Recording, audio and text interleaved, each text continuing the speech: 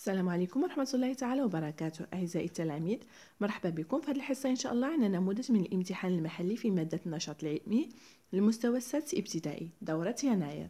نمر الأول تمرين اللي فيه صل بخط بين كل عنصر من عناصر الدار الكهربائية بالمنزل ودوره. العناصر عندنا العداد الصاهرة والفاصل. عندنا يحمي الدار الكهربائية في المنزل تركب على التوالي مع الجهاز لحمايته ويقيس الطاقة الكهربائية المستهلكة. نشوفوا العداد. العداد جاي من عد يعني يقيس الطاقة الكهربائية المستهلكة. وعندنا الصهيرة كتحمينا الأجهزة في المنزل يعني تركب على التوالي مع الجهاز لحمايته. باش إلا داز الضوء مجهد تتحرق الصهيرة وتيتحمى الجهاز. عندنا الفاصل يحمي الدار الكهربائية في المنزل. إلا وقع شي سيركوي مثلا تيتقطع الضوء على المنزل. والسؤال الثاني أنه يمثل الشكل تركيب مصباحين في الدار الكهربائية المنزلية؟ هذا الشكل هذا. عندنا المصباح الأول والمصباح الثاني. ألف تتكون الدار الكهربائية الممثلة في الشكل جانبه من نوعين من الأسلاك وهي إلا شفنا الألوان اللي عندنا هنا؟ عندنا أسلاك باللون الأزرق وأسلاك باللون الأحمر. السلك المحايد لونه أزرق هذا اللي كيكون هنا لونه أزرق. وعندنا سلك الطور لونه أحمر. سلك الطور هو اللي كتركب فيه الصهيرة آه، آه،, آه سؤال باء. ما اسم العنصرين L1 و L2 الموجودين في التركيب؟ هنا L1 و L2 اللي كيكونوا بهذا الشكل هذا دائرة في الداخل ديالها علامة في هذا كيتسمى مصباح. هادو مصباحين.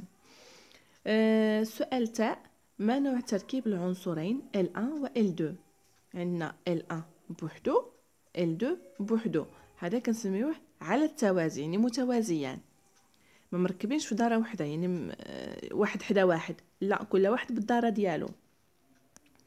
وعندنا ثاء ما اسم العنصر آ الموجود في التركيب. هنا هذا العنصر آ سبق لي وقلت لكم شنو هو. يعني كيتركب آه، في اللون الأحمر يعني في الطور. هذا كتسمى الصهيره عندنا في السؤال الثالث عندنا ما هي أول خطوة نقوم بها قبل استبدال المصباح التالف أول شيء خصنا نديروه هو أننا نقطعوا التيار عن المنزل ولا غير عن ديك البلاصة اللي يعني فيها المصباح. كنقطعوه بالنقاصة. يعني قطع التيار عن المنزل بواسطة الفاصل كيتسمى الفاصل. نمر للتمرين الموالي. آه فيه السؤال واحد أتمم الفراغ الفراغ بالعبارات الآتية. حيوانات دقيقة الهواء معدنية الطبقة الخارجية عضوية وعندنا الماء. تقع التربة في الطبقة الخارجية من القشرة الأرضية عندنا في الطبقة الخارجية. أه وتتكون من ماذا؟ من مواد كدايرة عضوية ومواد معدنية كنلقاوهم بجوج في التربة. التربة وسط حي أه هنا جات الكلمة متلاصقة حي لأنها تحتوي على حيوانات دقيقة وهواء وماء. هادو من الملخصات اللي كنتو كتحفظوهم في النشاط العلمي. هنا السؤال الثاني أتمم بوضع علامة في في المكان المناسب. التربة تتركب من مواد معدنية فقط؟ لا. عاد قلنا هنا فيها مواد معدنية ومواد عضوية يعني هذا لا خطأ. لا تساهم الكائنات الحية للتربة في تخصيبها. خطأ. كنعرفوا على أنه الكائنات الحية اللي كتكون عايشة في التربة شنو كدير؟ كتأكل دوك البقايا مثلا ديال الأوراق وداكشي الأغصان اللي كيكونوا في في التربة وكتحولهم للذبال يعني آه كيساهم في التخصيب ديال التربة. يعني حتى هذا خطأ. وعندنا الجملة آه، الثالثة من عوامل حث التربة الرياح. هذا صحيح. ملي كتكون الرياح كتحيد لنا ديك الطبقة الفوقانية ديال ديال التربة كتسمى الحت. وعندنا التربة وسط حي صحيح هي أيضا حيث قلنا هنا حيث فيها حيو... آه حيوانات دقيقة. فيها حياة. والسؤال الثالث صنف مصادر الطاقة أسفله إلى طاقة متجددة وطاقة غير متجددة.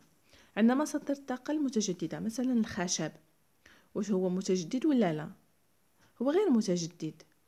يعني مثلا إلا حيدنا ملي كنحرقوا الخشب ما كيعاودش يتنتج لنا في بلاصتو خشب واحد آخر. هذاك اللي حرقناه يتعاود راسو لا غير متجدد.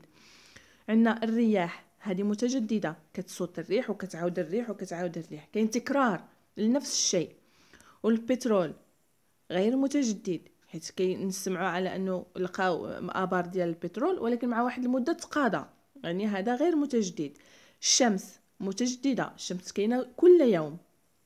السدود هذه متجددة يعني الطاقة اللي كتنتج منها متجددة كت... كتكون نهار على خوه.